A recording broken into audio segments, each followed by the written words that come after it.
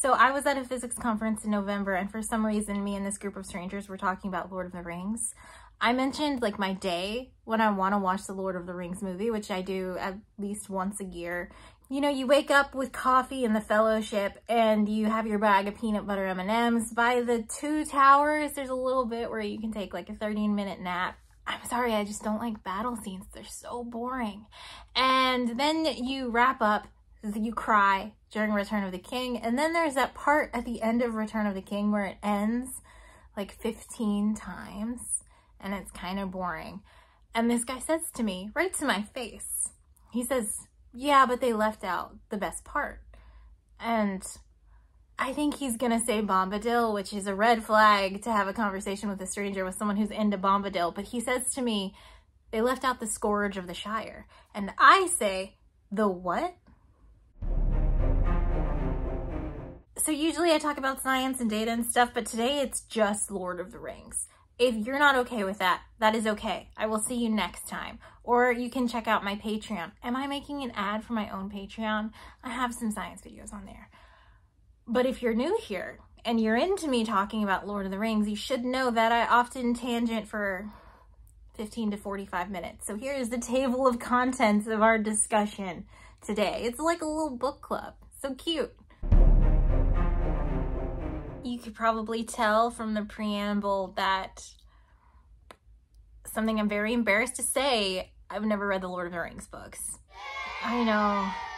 I know. I, I tried. Okay. I read The Hobbit probably when I was like 9 or 10 and I loved it. You know how I hate battle scenes in movies? In The Hobbit, there's this giant battle of five armies at the end and like you're holding the book and you're like there are seven pages left in this book. How can they do a battle of five armies? But bilbo gets hit in the head with a rock and he wakes up after it's over. And i wish every single marvel movie would take that and make it like a trope so we don't have to watch these things. That would be great so Fellowship came out in 2001, I think, but it wasn't on VHS until 2002. So I'm age 12 in a blockbuster and I'm like, this looks like my jam. And I take the movie, watch it like four times in two days, return the movie, go to the library, get the Lord of the Rings books. I stopped. I did not finish Lord of the Rings. Can you guess where I stopped? So there are two very vocal Bombadil camps. People hate him they they find him annoying. They don't like the songs. He's not really important to the story, so why is he there? And there are people that love him. Like they love the idea that there is this old wizard god, whatever he is, and he can hold the ring and he can play with it and it does nothing to him. And that's like interesting to the story of the ring where the the ring takes power over everyone. I'm in the middle. I don't really care. I don't. Don't hate him, don't love him. Glad he wasn't in the movies. I do find his songs annoying, but like it's fine. I do think if Bombadil had been later in the books, I would have liked him more. The idea that the ring does nothing to him would have been more real for me if it happened later in the books, like after I had seen what the ring does to Frodo. But like it doesn't matter, it's fine. Why I stopped reading is Goldberry. Do you even remember Goldberry? No, I am not the first to point out that Tolkien, you know, doesn't really have a lot of female characters. But as a child, when I was reading these books, like I was 12, I was a kid, I I wanted to read writers who who wrote about women. You know, little baby feminist. Like I was a simple kid. My favorite Rugrat was Angelica. My favorite Pokemon was Tangela. And my favorite Teenage Mutant Ninja Turtle was Michelangelo. So when I'm reading The Lord of the Rings, who am I supposed to put my face on? Who am I supposed to put myself into? And the first character we get to is Goldberry. so this creepy old man is married to Goldberry, who he describes as a beautiful little tiny like sexy baby that he found in a river. We meet her when he drags these four dirty hobbits that he just saved from a tree into her home and says, do you have enough food for everyone? She feeds them all. She barely says anything. She's like a Pokemon herself. She's like, Goldberry, Goldberry. Goldberry? Oh, Tom. And then he sends her to bed so the men can have a conversation. And then the next day she can't say goodbye to the hobbits because it's her washing day. And I just, I don't like that. I've been real deep into Lord of the Rings recently, and I've been reading all of these like bachelor's theses. And a really common thing for people to write is about the women of Lord of the Rings, and they put them into three categories where you have the Marys, the homemakers, like the lovely wives, and you have the ladies with ambition who need to fucking tone it down and get married already, and then you have the man eating spiders who need to die. And that's kind of it. That's what women are in Lord of the Rings. And honestly, as a child, that bothered me a lot. I had trouble reading it. I didn't want to finish it because in like all of the entertainment magazines, which I was obviously reading to get new Lord of the Rings movie facts at the time, they would talk about how Peter Jackson had rewritten the women. And I mean, did he? Was there screenwriters? I don't know. That was the story of the time that the women had been bulked up, they had become characters. And so I was like, I'll just get this story from the movies. This is fine. As an adult, I don't see that reading Lord of the Rings. Like the women are not written well, but it's not about women and that's okay. Not all stories have to have my face in them. I'm a big girl with big girl pants and I can read a book.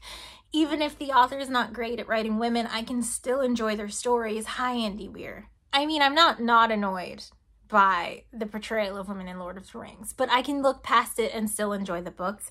Get a margarita and a half into me, and maybe I will have huge opinions on women in Lord of the Rings, but as it stands, as an adult woman, I mean, it's fine. I like Lord of the Rings. As I said, I've been watching these movies every year since like they came out for 20 years now. And a few years later, as an adult, I was like, it's kind of embarrassing that I've never read Lord of the Rings. I should read Lord of the Rings. So I bought this big stupid book. This book is stupid. It shouldn't exist. It's got all of the books in here, and so the pages have to be really thin, and they're see-through, so like you can see the text on the other page, and it's like a big, big, heavy book. I like to read in the bath, I read on the couch. I can't read this. I can't hold this above my face. It hurts to hold. But I did read Fellowship. I read Fellowship of the Ring. I was like, this was good hot take Lord of the Rings is good, actually, I guess.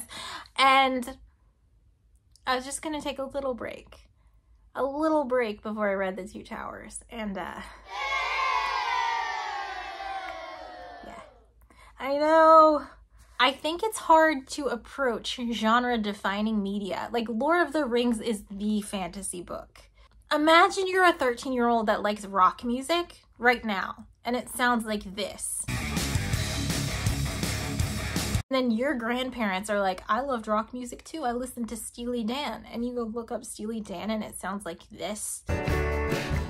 Then you're like, how is this rock music? And it takes time for you to appreciate that genre defining media because it has shaped and structured all of the rock songs that have come after it. Lord of the Rings has shaped and structured all of the fantasy novels that have come after it. So if you go jump into the Lord of the Rings, it's kind of like you've already read it before. It's kind of boring. It's kind of reductive. Like you've already seen this. You've already seen all these tropes. You've already seen all these stories represented in different ways. And so you're reading it and you're kind of bored.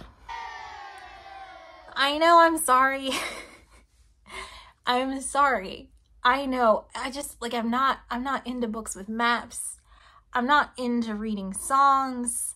I wish I could have been one of those people who read Lord of the Rings when they were eight and have read it every year since and loved it and appreciated it for what it is and how good it is. It is very good. I've read them now. I'm sorry. Please forgive me. It's just, it's kind of hard to jump in. But I had this conversation and this man, this stranger who has changed my life because now I'm into Lord of the Rings, told me that I could just read the th last three chapters. He was like, yeah, the books, they're massive. It's kind of a whole thing to approach it, but just grab the book, read the last three chapters. Like you already know the story. You you have to read Scourge of the Shire. But I didn't want to do that. I wanted to read the books. And I did read the books.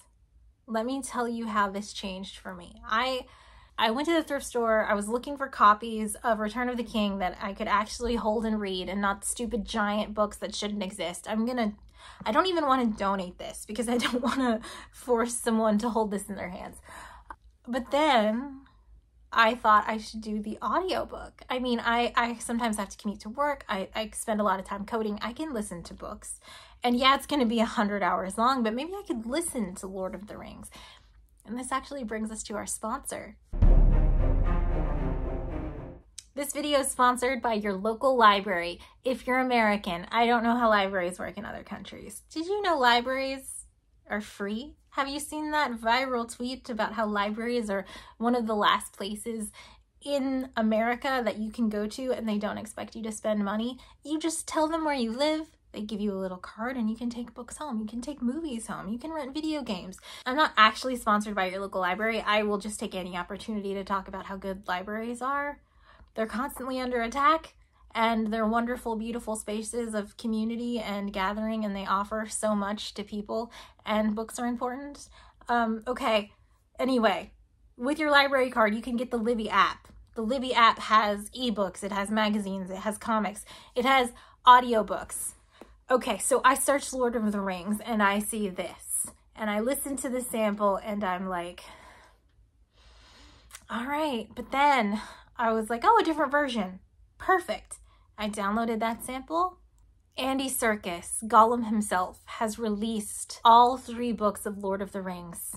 To Pippin's surprise, he found that much of the talk was intelligible. Many of the orcs were using ordinary language. Apparently, the members of two or three quite different tribes were present, and they could not understand one another's orc speech. There's no time to kill them properly. He reads all three books. He does the songs. There are scenes in the Two Towers where like 10 orcs are talking to each other and he does 10 distinct yet orc-like voices. This is the perfect way to enjoy Lord of the Rings. This is the hot take of the video. Andy Serkis reading Lord of the Rings is better than the Lord of the Rings movies. I know they're different mediums. I'm just saying this is the most fun I've ever had with Lord of the Rings, and I watch the movies and will continue to watch the movies every single year. He does all the voices of hundreds of characters. He moves his head around the microphone so it sounds like people are having conversations in a room. He sings the songs and I didn't skip them. They were so good. This is the way to enjoy Lord of the Rings. If you're like me and you you struggle bust your way through fellowship, get these audiobooks. I mean, you'll have to wait. So I had this conversation in November on the plane ride back. I'm like I'm reading Lord of the Rings.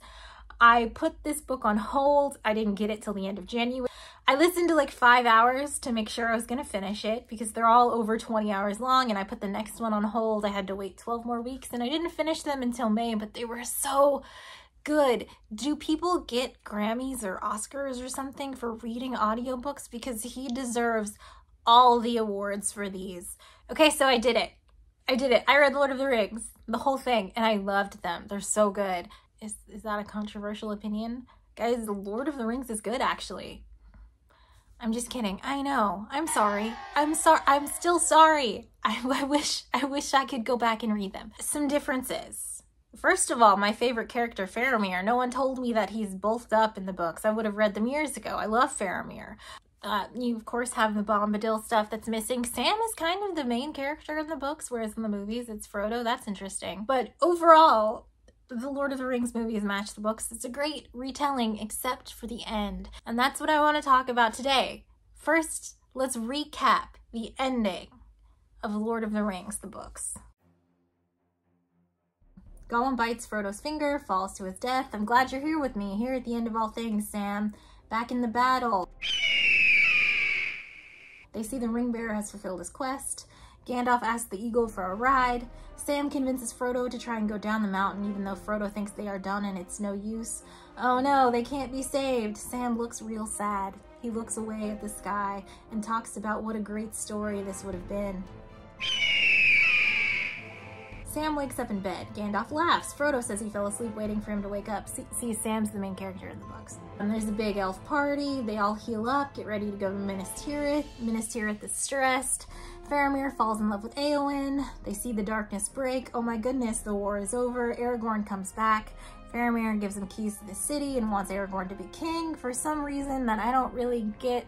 He doesn't take the crown from Faramir and he gives it to Frodo and Frodo gives it to Gandalf and puts it on his head. I don't get that, but it was mentioned. Uh, behold the king! The city's rejuvenated and such. Everyone's hanging out at Minas Tirith for days and days and days and days. Gandalf says the age of men has come and he shall soon go. It turns out they'd been waiting for elves to show up, so Elrond and Arwen, and then there's like a wedding. Frodo asks Aragorn if he can go to the Shire, but first he has to go to Rivendell. I keep calling Rivendell Arendelle. It's really annoying. Frodo wants to go to Rivendell to see Bilbo. Arwen says that because he held the ring for so long, he's like all damaged now and he won't be making any more journeys. Arwen gives him a piece of flair and says he can go to the Havens with Elrond in her stead. Eomer and Gimli have a fake fight about if Arwen is hotter than Galadriel. I mean, yeah, get me a margarita and we'll talk about women in Lord of the Rings, but not today. We don't need to. Uh, so many, many days later, they all head out. Theoden is buried outside Rohan. Eomer becomes king of Rohan, but that's cool. Like, Eowyn doesn't want to be king anyway, even though she's the one that did all the slaying of the big bad and stuff. She gets to marry Faramir, and, and they get to be stewards. So, it's the same. They head to Isengard. You know, these books should come with maps. All this traveling, who knew? Like I'm not I'm not into books with maps. Like I'm not I'm not into books with maps. Like I'm not I'm not into books with maps.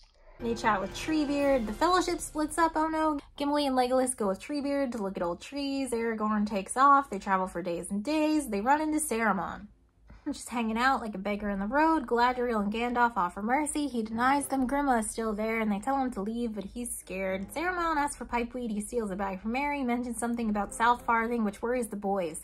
Frodo says they gotta get to Rivendell. They see Bilbo on his birthday, they stay a fortnight, they ask Elrond to leave. Gandalf says he will go too, at least as far as Bree. Elrond tells Frodo that he and Bilbo are gonna head out next year, you know, like if he wants to go. Gandalf notices Frodo is in pain on the way home, they go to the Prancing Pony, they decide to head to the Shire. Gandalf is like, ah, oh, you're fine. Uh, you might run into some trouble, but like, you got this. I gotta go talk to Bombadil.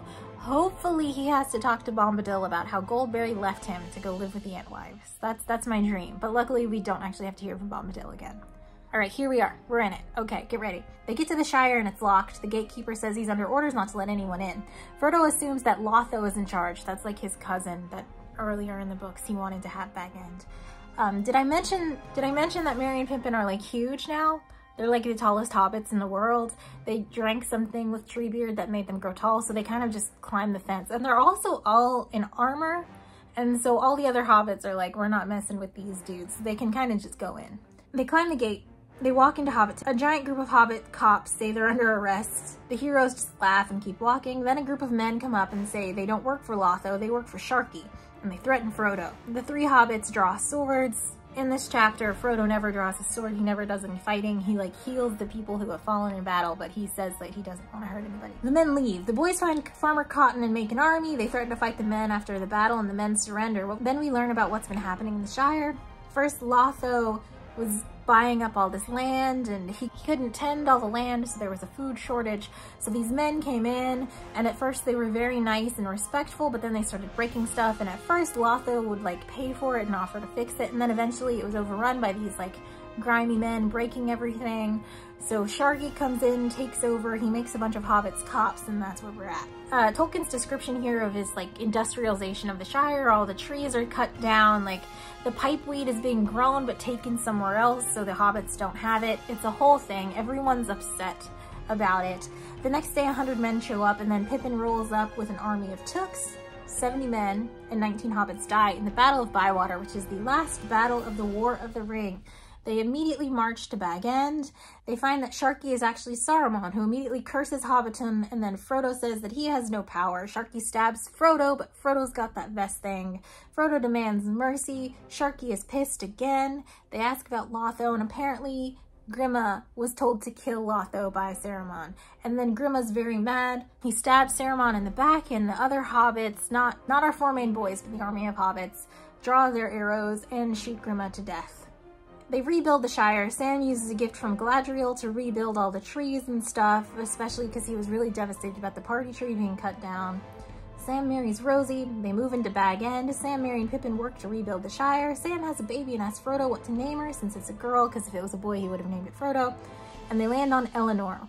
Ela Elanor. Ooh, I'm probably pronouncing all these names wrong. They land on Elanor. Just for fun, imagine if Lord of the Rings was written by J.K. Rowling, what would she have named Sam's baby? Okay, if it was a boy, I would say Frodo Sauron. And if it was a girl, Galadriel Aragorn Wormtongue. because it would be bad. Luckily, we have Eleanor, which is a beautiful name for Sam's baby. So Frodo is frequently in pain. He's hiding it from Sam. Frodo finishes his story. Frodo asks Sam to go with him to Rivendell and see Bilbo one last time. Sam is such a good father. He's like, I can't go all the way. I can't leave my family. Oh my goodness, what a hero. And they actually end up just going to the Grey Havens to see Bilbo off. So Bilbo, Gandalf, Elrond, and Galadriel and all the other elves are taking their little boats to Valinor. And Bilbo gets on the boat for one last adventure. And then, what? Frodo's going too? Oh my goodness. Uh, Sam watches the ship leave. Merry and Pippin arrive in the field to watch with them, and they're like devastated and they cry a lot. Sam goes back to Bag End, hugs his baby, and says, I'm back. Okay, so that's the end of Lord of the Rings. I loved it. I love the Scourge of the Shire. I want to discuss. And if there's one thing I know about Jolkin Rolkin Rolkin Tolkien is that he wants us to read Lord of the Rings as a World War II allegory. So, in France, I'm just kidding. She's got jokes. I know he he actually doesn't want us to do that. Tolkien doesn't do allegory. All of the forums I've been reading just they repeat it. it Tolkien doesn't do allegory. It's not an allegory. Stop it. So instead, I'm not going to talk about Tolkien at all. He, he doesn't want us to mention that he saw two world wars in combat and he was a code breaker in World War II during, you know, the Blitz and stuff. He doesn't want us to talk about it. So let's talk about Jean-Paul Sartre. I looked it up. I think it's Sartre. Let me know in the comments below if you were rich and you learned French in high school. Sartre has this essay called On Occupation where he talks about what it was like living in France when the Nazis were occupying the country. So I'm not a historian, I'm so sorry, but the French had this government that was like, you know, I, I'm pretty cool with fascism and Nazis. And so even though the people were against it, the Germans went in and were able to just be like, cool, you're Nazis now. And this essay talks about the weird normalcy of occupation. So you're a normal French woman working in a cafe because you know you're occupied but you still have to go to work.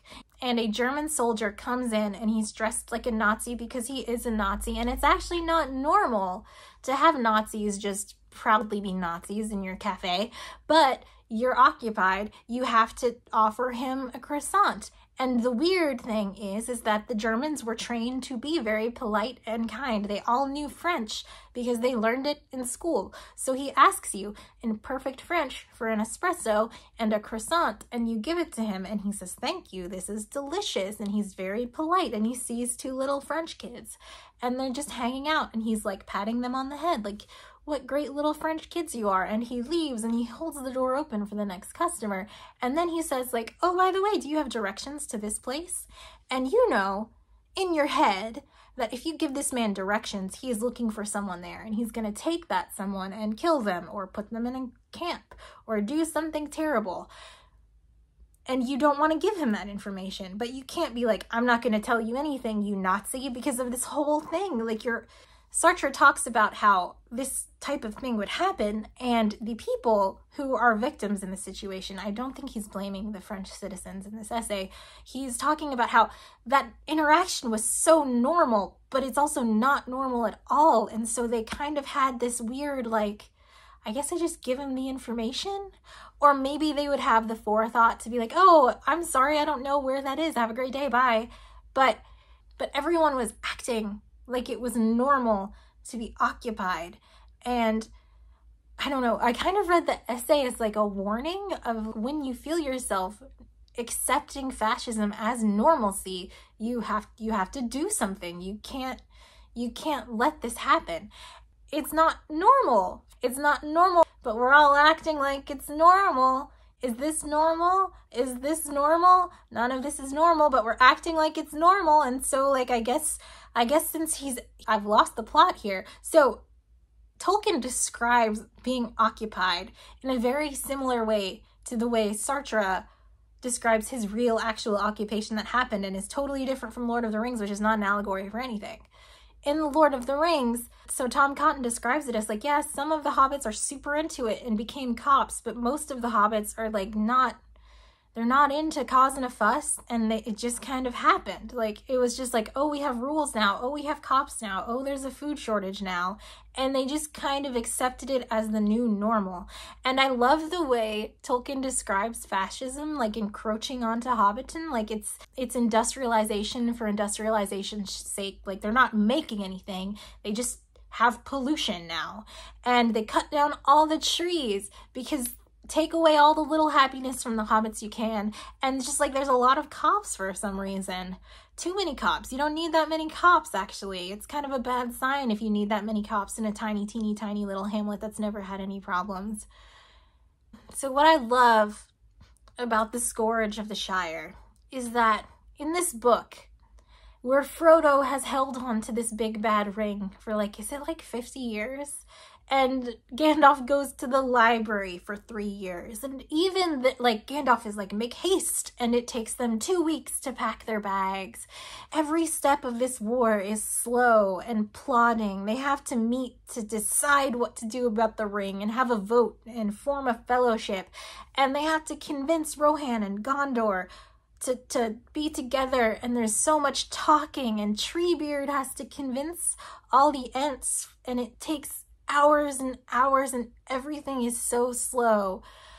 In this book, our four hobbits show up at the Shire, realize it's been overtaken and it is occupied by fascists, it takes them 12 hours to be like, fuck this. They form an army, two days of battle, and they are at Bag End being like, get the fuck out. It's such a beautiful end of the story. Merry and Pippin started as these loafabouts, roll back into Hobbiton as giant soldiers, and they take action right away like Sam who was like secretly spying and trying to like listen to what Frodo says and then followed him around for this whole journey is now like I'm going to go talk to Tom Cotton. I'm going to figure this out.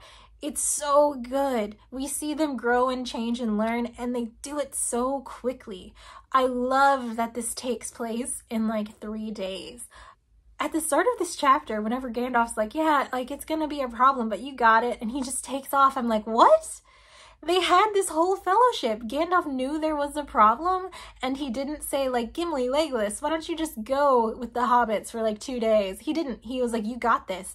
And they did. They got They, they had it. It's so good. The biggest change in this ending, in my opinion, in my reading of the book, guys, leave your opinions below, is how Frodo is portrayed. In the movies, it's kind of like oh, I'm a little sore, Sam. I'm just gonna go to, to Valinor. In the book, there are many paragraphs devoted to how much pain Frodo is in. He he doesn't draw a sword in this whole battle. It's like he has decided that he will not do any suffering to anybody because he has suffered for so long. At the end, he's begging Sharky to just apologize, to just not be an evil person he keeps mentioning Gollum. I'm so glad we didn't kill Gollum because Gollum was the one that saved the day at the end. He he fell with the ring and if he hadn't had done that, the mission would not have been resolved. And he just wants to see the good in everybody, which I think is so weird. I mean, I get him not wanting to kill the hobbits in the battle, but Saruman is responsible for all of this. He's damaged your home and you're just you're just gonna let him walk away. And that that brings me back to occupation in world war ii there are all these stories about the liberation of france where the brits and the americans and the canadians and i don't know world war ii history. I'm literally remembering like doctor who episodes. They show up normandy you know and they kind of sweep through the country and get rid of the German soldiers. And there's a lot of trials that that just end in executions and there's a lot of straight up executions of Germans.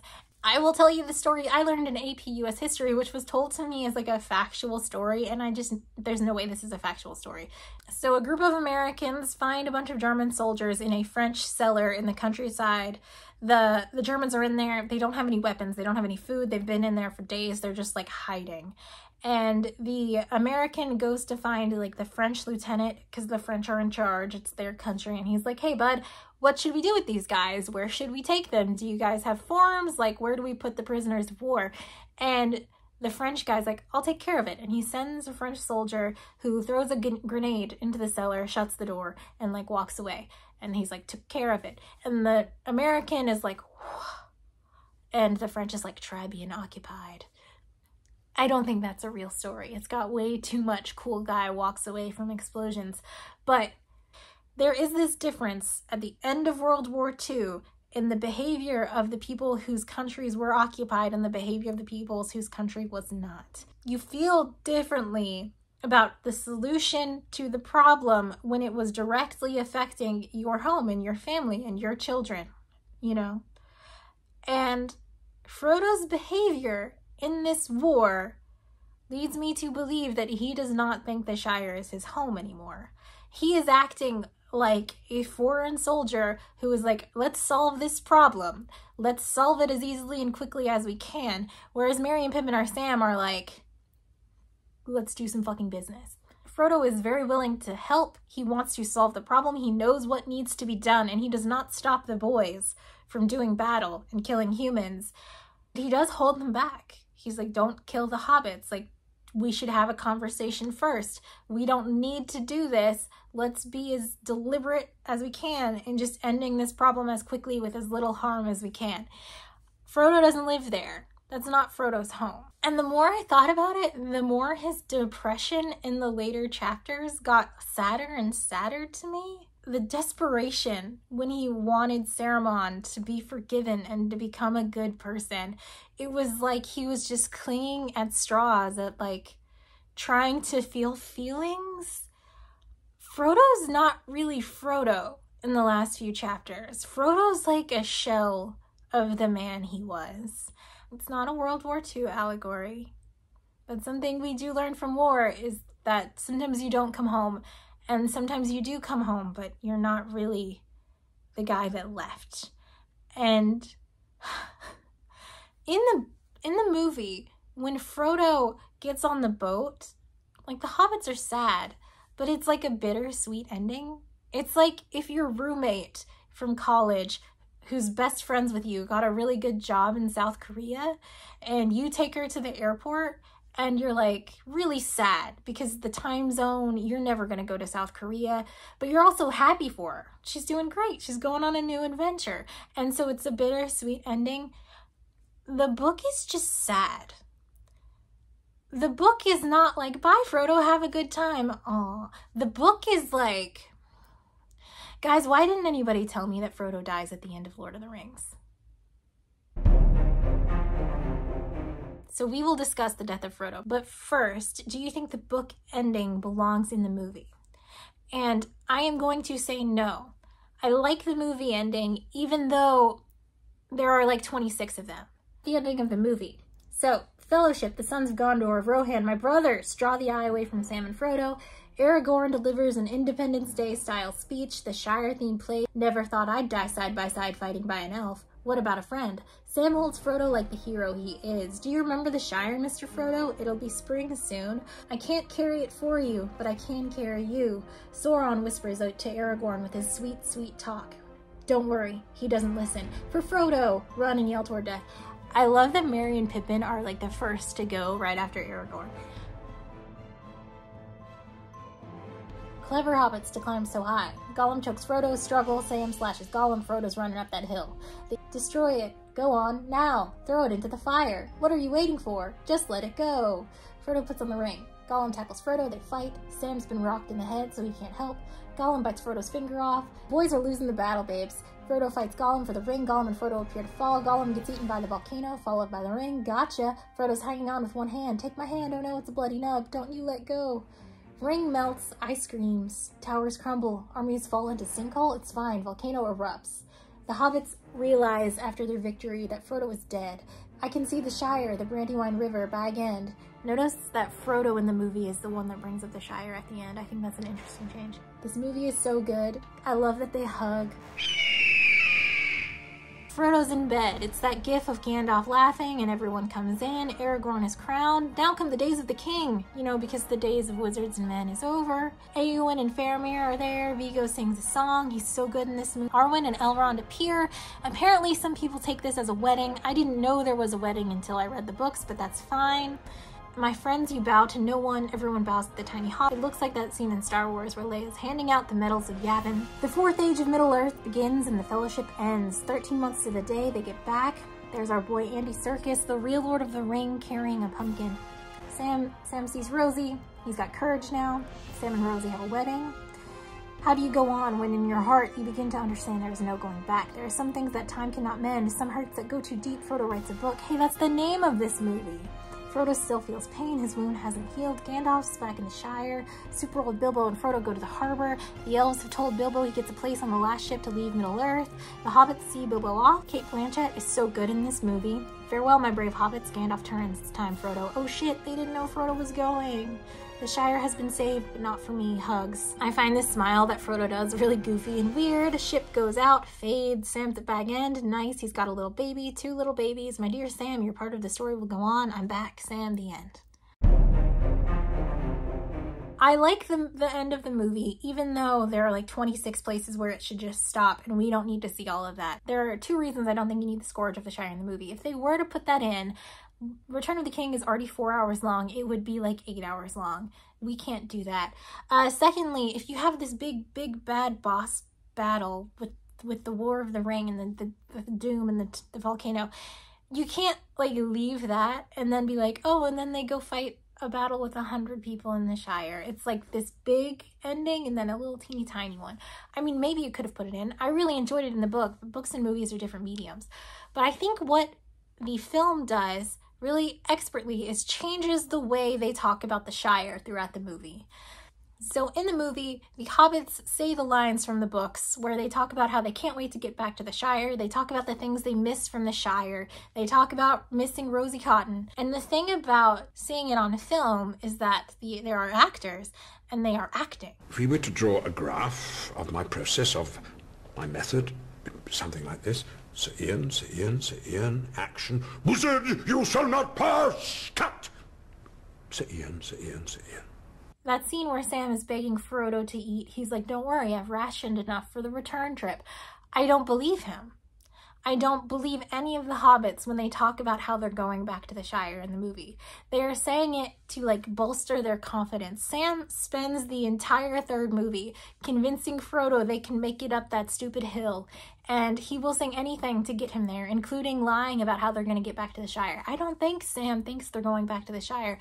I don't think Merry and Pippin think they're going back to the Shire. So at the end of the movie, when Frodo and Sam are lying there on top of a volcano, and Frodo's like, Let's think about the Shire, Sam. And it's a role reversal where Frodo is now trying to protect Sam's spirit. He's trying to raise him up and be like, let's imagine the Shire. Let's think about the Shire. Let's do what you've been doing for me this whole time. And it's beautiful. And it's a lovely little bow on that thing about them lying about getting back to the Shire the whole time. And then oh my god, they actually go back to the Shire. So when you see them having a pint in a pub in the Shire, you're like, they did it. And they're all smiling at each other, and it kind of seems like Goodwill Hunting for some reason. I don't know. But you, is that your thing? You come into a bar, you read some obscure passage, and then pretend you, you pawn it off as your own, as your own idea, just to impress some girls, embarrass my friend? You're so happy. That is the happy ending. That is the happy ending for the boys. They did it. They didn't think they were going to get back to the Shire, and they did. And I know the Scourge of the Shire is kind of in the mirror for a second, whatever. They don't have to do the Scourge of the Shire because the way they talked about the Shire the whole time led me to believe that they believed they didn't think they would get back. So when they do get back, that's the happy ending. It's a totally different vibe in the book. In the book, when Sam is walking up that hill talking about how he can't wait to get back to the Shire, I don't I, I think he thinks he's going to get back to the Shire. When he tells Frodo he saved food for the return journey, I believe him, and I think Frodo was pissed that he's been hungry this whole time when he could have been eating this food because obviously they're going to die. Frodo knows they're not going back to the Shire. Sam, Merry, and Pippin, they all think they're going back to the Shire. Throughout the books, they're like, we have to do this big thing, but just wait, we'll get back to the Shire. And what's really cool reading the books is that there are all these clues throughout the story that lead the reader to realize that the Shire is not, not okay. I'll give you an example. After the Battle of Isengard, Merry and Pippin are like smoking their pipe weed and eating their porks, and they're so happy. And as a reader, you're like, boys, where does pipe weed come from? Stop getting high for two seconds and use your brains to realize where does pipe weed come from? What is the implication of pipe weed at such large quantities being in Isengard? Where did they get it? Boys, boys. and they don't. They don't think about it. They think, in the book, the hobbits think that they will go back to their tiny little peaceful, beautiful hamlet and everything's going to be fine. This is just a task they have to get through and then they will go back and everything will be fine. So when you're reading it, at the end they destroy the ring and you're like, great, we did it. Um, but then the tension is kind of building because all of these things are happening. Like they go to a coronation and then a wedding and then a funeral and then then they want to like just walk really slowly to Rivendell for a while. They're they're taking months and months to return back. And every time they stop to do a thing, you're like, "Boys, you have to get back to the Shire. What are you doing? How can you not realize something's happening in the Shire?" And then they go and they hang out with Bilbo for a fortnight until Frodo's like, "Maybe we should should we do you guys feel weird?" And this is after they saw they saw Saruman that was talking about the Shire. He mentioned the Shire, and they're like, "Yeah, well, I'll just go to Rivendell for a fortnight first. So the movie, which has all these endings where you're like, all right, wrap this up. In the book, you have all these endings. You have all the like the B character stories being wrapped up. But the whole time you're like, okay, this is really great for Faramir. So glad he's married. But like, we gotta go. We gotta get out of here. We gotta get to the Shire. So when they get to the Shire, you're just like, finally, they're gonna take care of it. And it's so good. By having these two different portrayals in the book and the movie, it means you can have two different endings and it's totally fine. I, I, I like the book better. The book's better than the movie. Who would have thought? Oh my goodness. So you have this tension, tension, tension, tension building. They get to the Shire. And what I love about this chapter, I've already mentioned it, the boys immediately go into action. In in this book where everything takes 50 fucking years, the hobbits are like 3 days and we have just rid the, the Shire of fascism. We've knocked it out. We've killed Saruman. It's fine. Let's rebuild, guys. We did it. It's amazing. But the Frodo chapters are so bleak. The movie has like one mention of Frodo being like, it's four years to the day. Oh man. And Sam's like, yeah, bud, you're in pain. In the book, he's like a shell of himself. He's constantly in pain. He's hiding it from Sam. He's he's talking about how he can't go on and he's he's hiding it from his loved ones and he's just laying in bed for days at a time having attacks of pain and he doesn't see the point of being in the Shire. He doesn't see the point of being a part of the world. I have a quote. Though I may come to the Shire, it will not seem the same, for I shall not be the same. I am wounded with knife, sting, and tooth, and a long burden. Where shall I find rest? He's in unspeakable pain, and it gets worse over time, and he, and he holds out for years. Like, Sam gets married, he has babies, and he just, he can't do it anymore. And nobody told me that he dies at the end. I mean, it makes sense that he dies. Like, how can he go on? He keeps saying that. He can't go on. But the movie, the movie's just like, bye guys, see you later. He dies in the book. Nobody told me he dies in the book. I can't believe I've been I've been enjoying Lord of the Rings content for 20 years and nobody told me that Frodo dies at the end of Lord of the Rings. Not everyone agrees with me, and that's okay. You don't have to agree with me, but I will make my argument for how Frodo dies at the end of Lord of the Rings. And, and then we can discuss in the comments. But only in the form of hour-long YouTube videos. If you, if you have a response video, link me in the comments. Otherwise, I mean, follow your heart. Well, first of all, he doesn't die. He goes to the Undying Lands. Oh, I'm sorry. Frodo doesn't die He just goes to a land where mortals are not allowed to be, and it's a heaven utopia far across the sea that mortals haven't even seen ever, actually. He doesn't die, he just goes to heaven? Okay. What do you have to do to go to heaven, guys?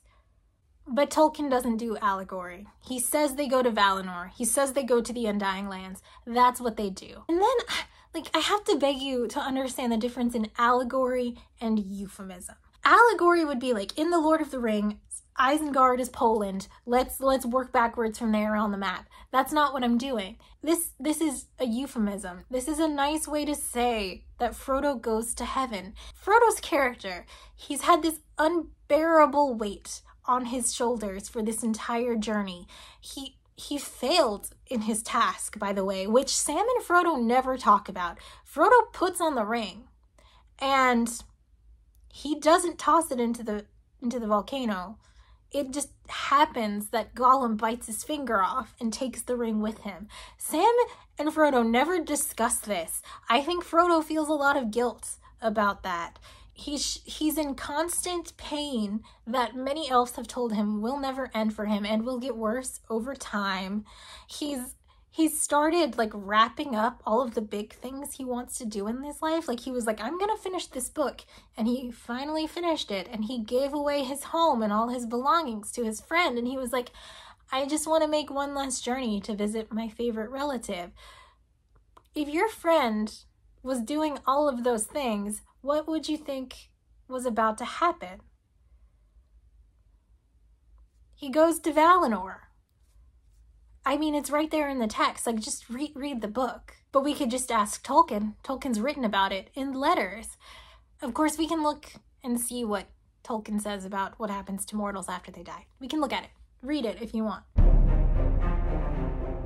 Do you think if Tolkien wrote Lord of the Rings in 2004 instead of 1954, he would be on Twitter and he would just be tweeting, like, here's how they went to the bathroom on their journey. Thanks for asking. I bet if he did write Lord of the Rings in 2004 instead of 1954, in Helm's Deep, there would be a scene where like a ring wraith slams into a tower and a bunch of soldiers fall to their deaths. And when people said that was a 9 11 allegory, he would be like, How dare you? How dare you say that? You can read the text and it's it's up to you how you interpret it. If you don't think he dies and he goes to Valinor where everyone's happy and it's all good, then okay. That's not how I read the text. And actually, I don't think we should look at his letters and decide how that affects the text. Maybe we should interpret it for ourselves. That's right, I read books. Well, haven't you read the Silmarillion? Is that how you pronounce it? Silmarillion? Or have you seen the Rings of Power? And like, yeah, of course I have. I just told you how I've been reading Lord of the Rings forums for the past six months. I've been reading a bunch of people's bachelor's theses where they compare The Sopranos to Lord of the Rings. Like, I've been enjoying every piece of Lord of the Rings I can. Have I seen Rings of Power? Let me tell you what, the fact that the Land Before Times 2 through 37 exist does not change what happened in the first movie, which is that Littlefoot dies sad and alone in the forest and then wakes up in the Great Valley, and all his family and friends are there, even his parents who died. That's what happened in the movie. Writing stuff after doesn't change the text of the first movie, okay? Frodo dies at the end of Lord of the Rings. There's this real ominous thing that happens at the end of Lord of the Rings where Frodo tells Sam, like, I have to go to the Undying Lands. I can't be on this earth anymore. I'm in so much pain. And then he says, It will happen to you too, because you were a ring bearer as well. And in, in the book, Sam has to wear the ring for a little bit. And it's so like, if you're depressed very depressed friend said that to you as like a prediction, you would be worried about them, right? But also, in the book, in the appendix, Sam goes to the Undying Lands. Well, actually, let's just read what happens to Sam. Let me find my good copy. Okay, so death of Mistress Rose, wife of Master Samwise, on Midyear's Day. On September 22, Master Samwise rides out from Bag End. He comes to the Tower Hills and is last seen by Elanor, to whom he gives the Red Book, afterwards kept by Fairbairns. Among them, the tradition is handed down from Elanor that Samwise passed the towers and went to the Grey Havens and passed over sea, last of the ring bearers. So Sam doesn't really go to Valinor at the end of Lord of the Rings, does he? The appendix says that he tells Elanor that he's going, he gives her his most prized possession, and then is not seen again. It doesn't say he goes to Valinor, does it? It says his wife dies, he gives his daughter his most prized possession, and then he's not seen again. He tells her he's going to Valinor, but he's not seen again. How does he get there? Does he build a boat? Oh, I know a guy with a boat. I know a guy with a boat that can take mortals to the land of the dead. His name's Charon, but you have to die before you get on that boat. He, so how does he get there? There is there is there is reference to Legolas and Gimli building a boat and they go to Valinor later. So like I mean, I guess if you're reading it that this is an actual place that exists, Sam could have got on that boat, I guess. But no. No, I don't think so. It doesn't say that Sam tells Elanor that he's to meet Gimli and Legolas. It doesn't say that. It just says he was never seen again. What does that say to you? Like, Frodo dies at the end, and so does Sam, because they're mortals. Death is just another path we must take, and that's okay. It's a sad ending, but it's a really good ending.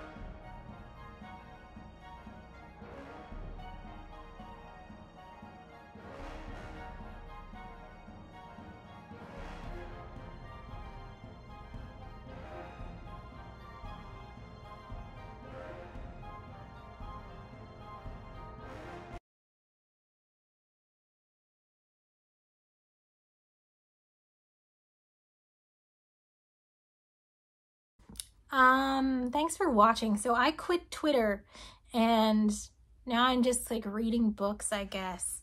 These are the last four books I've read. Here they are. Um, you can tell I was reading Sartre. Uh, this is really good. This is about parenting, actually. Did you know that? I, I had no idea. Um, it's really good. This was also really good. And I, I reread this for this video. And something that I noticed about all of these books is that I thought they were really sad.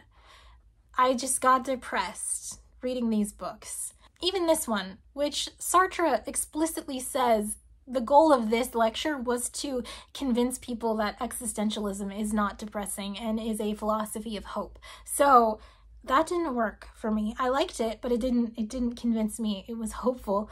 And then I thought like if all the books I'm reading are depressing me. M maybe it's not the books.